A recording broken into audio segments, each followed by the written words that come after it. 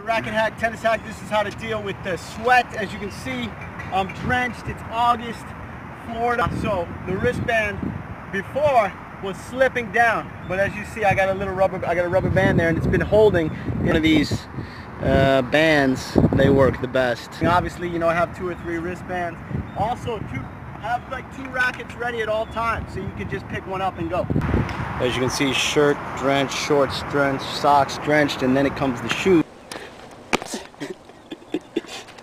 All right, give me, man. That, that's how sweaty I am.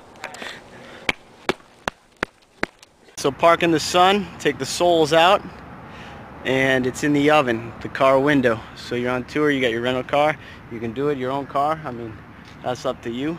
Yes, so they'll dry quick. So, so check out my other racket hacks and tennis hacks. Peace.